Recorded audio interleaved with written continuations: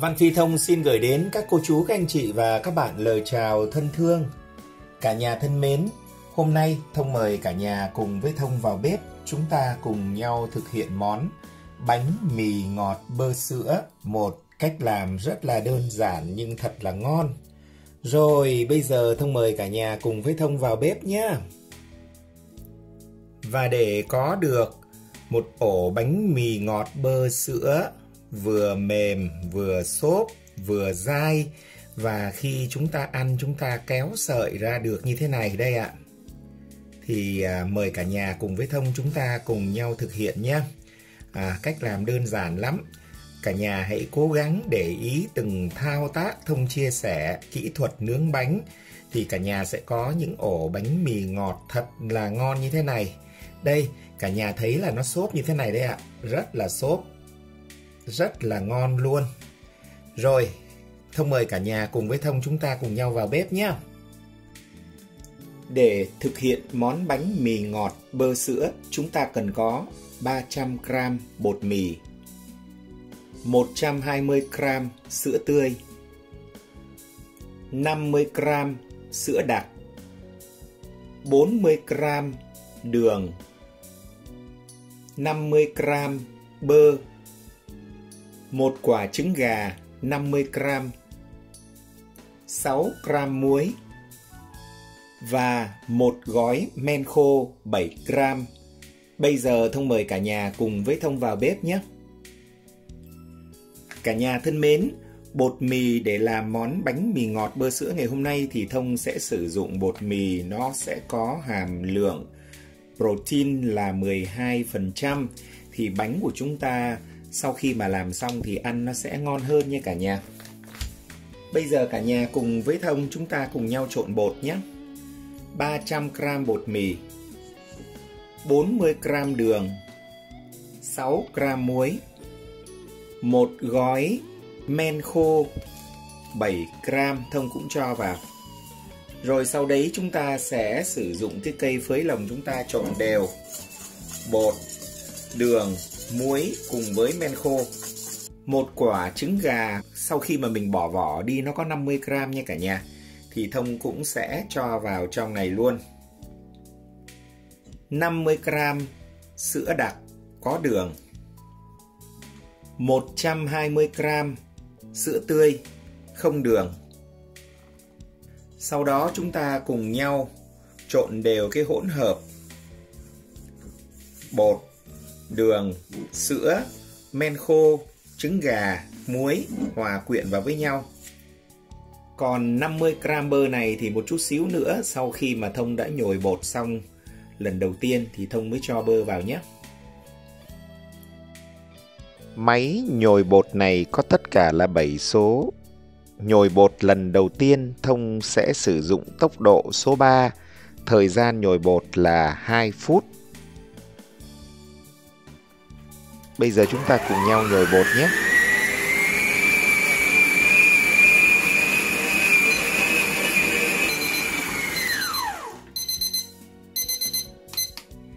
Hai phút nhồi bột đã xong.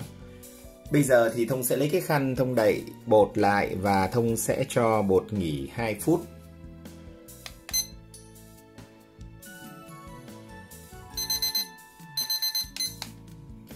Hai phút cho bột nghỉ đã xong rồi, bây giờ thì thông lại lấy cái khăn ra. Và bây giờ thì chúng ta sẽ nhồi bột với thời gian là 3 phút. Tốc độ nhồi bột lần này là số 2 và chúng ta sẽ cho 50 gram bơ vào từ từ.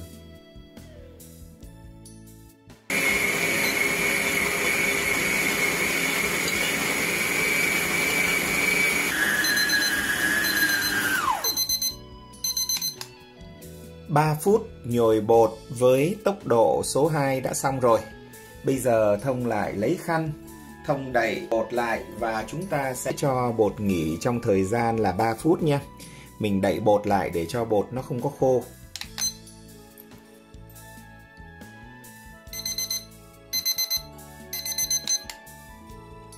ba phút cho bột nghỉ đã xong, bây giờ thì Thông nhồi tiếp.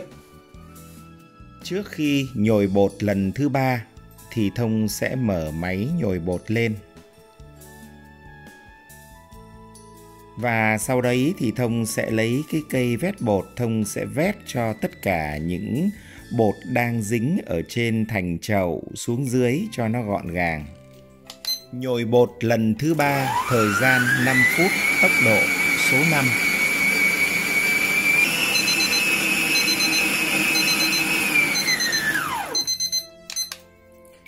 5 phút nhồi bột với tốc độ số 5 đã xong rồi. Bây giờ thì thông lại cho bột nghỉ 3 phút. Và cả nhà nhớ dùng thông là lúc nào mình cho bột nghỉ thì mình cũng phải lấy cái khăn mình đậy lại cho bột của mình nó đừng có khô nhé.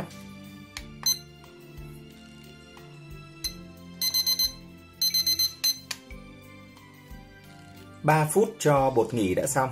Bây giờ chúng ta sẽ nhồi bột tiếp và lần nhồi bột này thì chúng ta cũng sẽ nhồi bột với thời gian là 5 phút và tốc độ nhồi bột sẽ là số 5.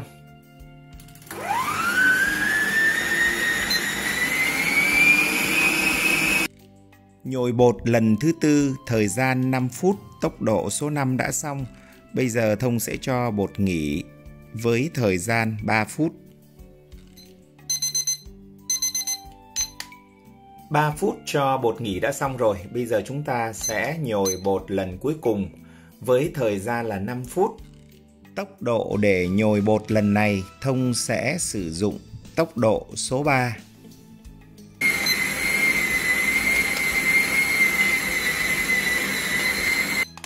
năm phút nhồi bột tốc độ số 3 đã xong thì bây giờ chúng ta sẽ mở máy ra này và kiểm tra xem là bột của chúng ta đã đạt theo yêu cầu chưa. Rất là đơn giản bằng cách là chúng ta sẽ kéo bột ra này và xem coi cái độ dai của nó đã đủ chưa. Nếu cái độ dai của nó chưa đủ, kéo màng chưa được thì chúng ta sẽ phải nhồi tiếp. À, thông nhìn thấy bột của thông chắc phải nhồi thêm khoảng 2 phút nữa. Thì à, cả nhà ơi, khi mà nhồi bột á, là chúng ta phải nhồi theo cái sự cảm nhận Mặc dù là cái cách nhồi bột của thông thông chia nhiều lần như vậy thì cả nhà có thể nhồi một lần cũng được, nhưng chúng ta phải để ý, một khi mà bột của chúng ta mà nó nóng quá rồi đó thì bơ sẽ chảy, nó sẽ bị tách nước nha vì vậy là cái cách nhồi bột rất là đơn giản, không có gì khó hết, nhưng mà chúng ta phải để ý xem là cái bột của mình đã đủ chưa bây giờ thì thông sẽ gài đồng hồ thêm 2 phút nữa và Thông cũng sẽ nhồi bột với tốc độ số 3.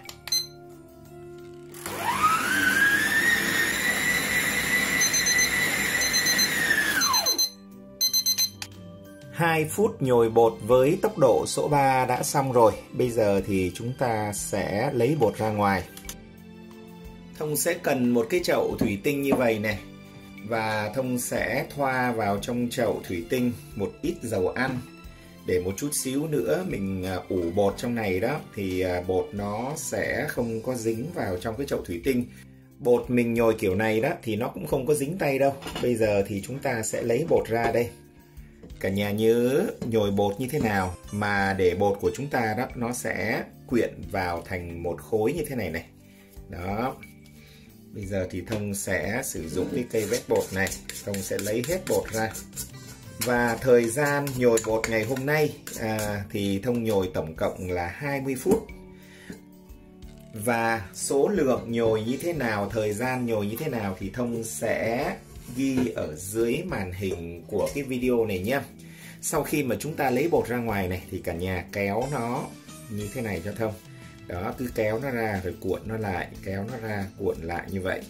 Mình vê lại làm sao cho cái mặt bột nó thật là láng như thế này và đây cả nhà sau khi mà mình đã nhồi bột mà gọi là đạt được rồi đó thì cả nhà thấy là chúng ta sẽ kéo màng nó rất là dai đó nó sẽ không có bị bục vì vậy đó, thời gian của những người làm video thì là ghi là ghi như thế, nhưng mà cả nhà cũng để ý dùng thông rằng là cái công suất của cái máy nhồi bột của mình và cái bột của mình để làm bánh mì ngọt nó có giống nhau hay không, nói tóm lại là mình à, phải để ý nha, và tất cả phải cảm nhận.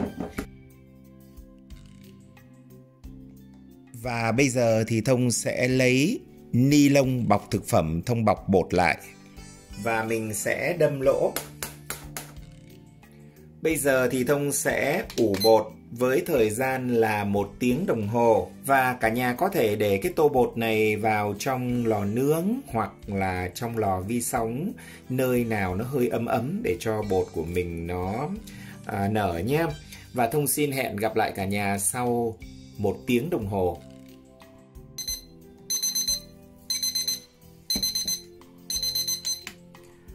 Bột thông đã ủ được một tiếng đồng hồ rồi. Bây giờ chúng ta cùng nhau xem là bột của mình ủ nó đã nổi lên chưa nha. Và để biết được bột của mình ủ đã nổi chưa thì cái cách thử rất là đơn giản cả nhà ơi. À, chúng ta lấy cái ngón tay này chúng ta nhúng vào trong bột này. Rồi sau đấy chúng ta sẽ ấn vào. Ấn vào mà lấy lên á, bột nó không lên mà ấn vào như vậy mà bột nó nằm luôn như vậy đó là bột của chúng ta đã đạt rồi. Bây giờ thông sẽ lấy bột ra ngoài và đây cả nhà. Cả nhà xem này. Đó. Bột nó rất là dẻo luôn. Đấy, rất là dai, rất là dẻo. Bây giờ thì thông sẽ cân cái khối bột này lên và thông sẽ chia ra làm hai phần. Sau khi thông đã chia bột ra thành hai phần bằng nhau rồi thì bây giờ chúng ta sẽ túm bột lại.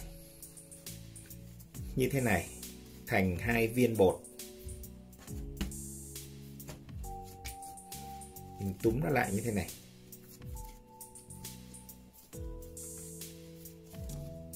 Rồi bây giờ chúng ta sẽ vê. Đó, chúng ta sẽ vê bột lại như thế này.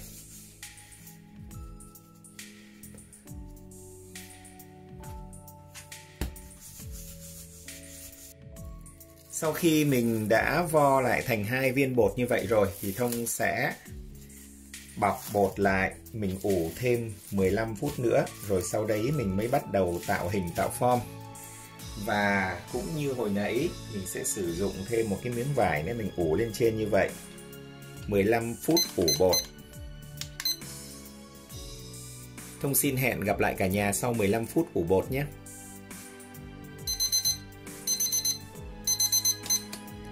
15 phút ủ bột lần 2 đã xong rồi. Bây giờ thì Thông sẽ lấy bột ra và chúng ta cùng nhau tạo hình vào form cho bánh mì ngọt. Thông không có sử dụng à, bột áo mà Thông sử dụng dầu ăn. Thì trên tay của chúng ta sẽ thoa dầu ăn và cái cây cán bột này cả nhà cũng thoa dầu ăn cho Thông nhé. Để cho bột nó không có dính vào đấy. Rồi, bây giờ thì mình sẽ lấy cái viên bột hồi nãy mình à, vo lại đó. Bây giờ mình sẽ cán nó ra. Khuôn thì chúng ta lấy ra và chúng ta sẽ bôi bơ vào nhé cả nhà nhé. Cả nhà hãy tạo cho thông một cái hình chữ nhật. Chúng ta cán bột thành một cái hình chữ nhật này. Rồi sau đấy thì bây giờ chúng ta sẽ cuộn bột lại cả nhà nhớ dùng thông là cái mép này đó là nó phải mỏng hơn nha, nó phải mỏng hơn ờ, ở trên nhé và bây giờ thì chúng ta sẽ cuộn bột lại. Khi mà cuộn bột lại đó là cả nhà cố gắng cuộn cho nó đều tay.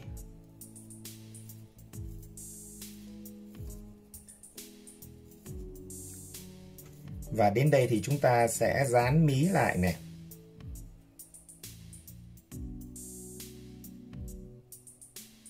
Rồi. Xong. Đến cái viên bột thứ hai thông cũng làm như vậy. Mình sẽ dán cái mí này lại.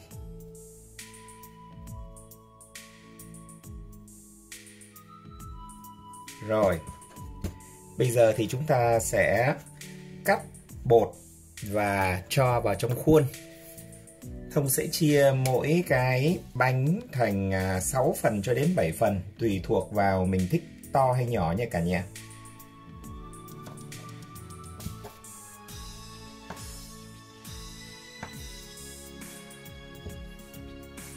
Rồi sau khi mà mình cắt xong rồi thì mình sẽ cho nó vào trong khuôn. Sau khi Thông đã tạo hình tạo form cho bánh mì ngọt rồi, bây giờ thì chúng ta sẽ đi ủ bánh và cái cách ủ bánh rất là đơn giản cả nhà. Chúng ta sẽ để những cái khay bánh này vào trong lò nướng hoặc là chúng ta có thể để vào trong lò vi sóng. Nếu quý vị để vào trong lò nướng thì chúng ta bật đèn và chúng ta phải để ý nhiệt độ trong lò nướng nha.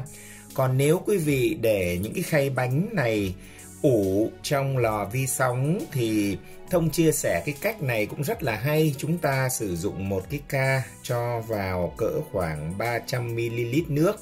Sau đấy chúng ta sẽ mở nhiệt độ thật là cao. Lò vi sóng của nhà thông có nhiệt độ là 850W thì thông sẽ quay trong vòng 4 phút. Sau khi thông quay cái ly nước này 4 phút xong thì thông để cái ly nước này ở trong lò vi sóng và sau đấy thì mình sẽ cho hai cái khay bánh này mình ủ bánh một tiếng đồng hồ 60 phút nha cả nhà. Một tiếng ủ bánh trong lò vi sóng đã xong và cả nhà thấy là nó đã nổi lên rồi phải không ạ? Bây giờ thì Thông sẽ cần một cái lòng đỏ trứng gà, một muỗng cà phê sữa tươi Thông sẽ trộn vào trong cái lòng đỏ trứng gà này Rồi sau đấy chúng ta sẽ sử dụng cọ chúng ta bôi cái lòng đỏ trứng gà lên trên ổ bánh của mình.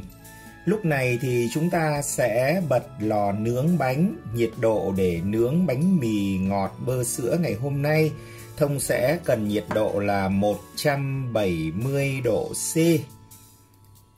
Chúng ta sẽ bật lửa trên, lửa dưới có quạt nha cả nhà. Lòng đỏ trứng gà và sữa Thông đã bôi lên trên hai cái khuôn bánh rồi. Và bây giờ thì nhiệt độ ở trong lò nướng cũng đã đủ 170 độ C rồi. Thông sẽ cho hai cái khuôn bánh này vào.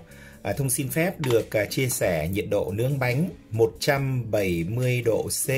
Chúng ta sẽ sử dụng lửa trên lửa dưới có quạt. Và Thông sẽ để khay bánh này ở tầng thứ tư từ trên đếm xuống.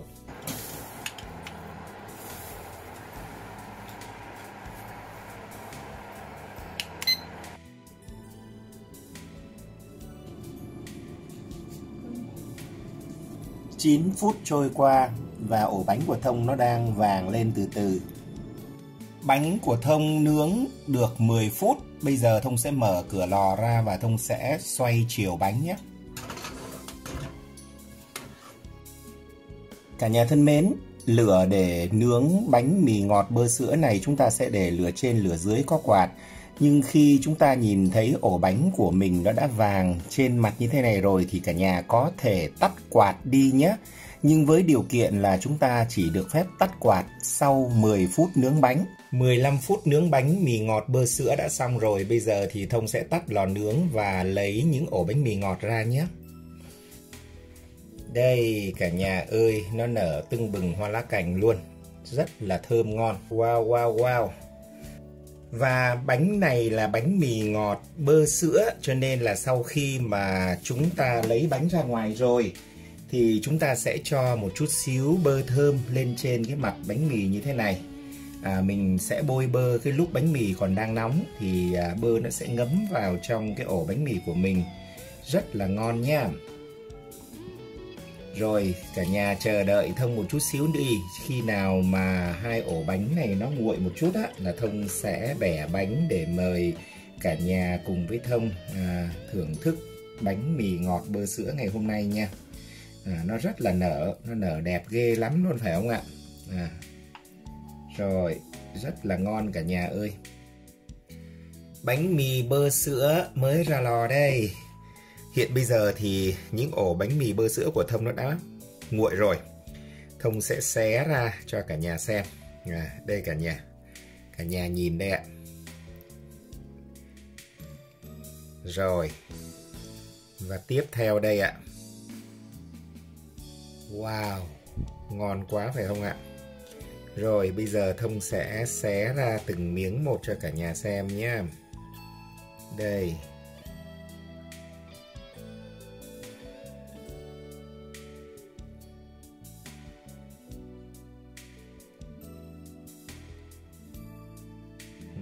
Cả nhà thấy nè ngon chưa nó ra từng sợi từng sợi một nè đó rồi thông xin phép cả nhà cho thông nếm thử một miếng xem nó ngon như thế nào nhé ngon quá phải không ạ ừ, ừ. Tuyệt vời quá cả nhà ơi. Thông xin chúc cả nhà sẽ thành công với món bánh mì ngọt bơ sữa này nhé. ừ. Cả nhà ơi, cả nhà xem này. Này, như nệm mút kim đan này. Đó, như là nệm mút ấn vào nó nổi lên này. Rồi, Thông xin um, cảm ơn cả nhà rất là nhiều đã theo dõi video của Thông và để ủng hộ kênh của Thông xin cả nhà hãy like, chia sẻ, đăng ký và cùng đồng hành với Thông trong những video tiếp theo. Cả nhà nhớ bấm chuông để được những video mới nhất của Thông trên YouTube. Thông xin chân thành cảm ơn cả nhà rất nhiều. Thông xin chào tạm biệt và hẹn gặp lại. Bye bye!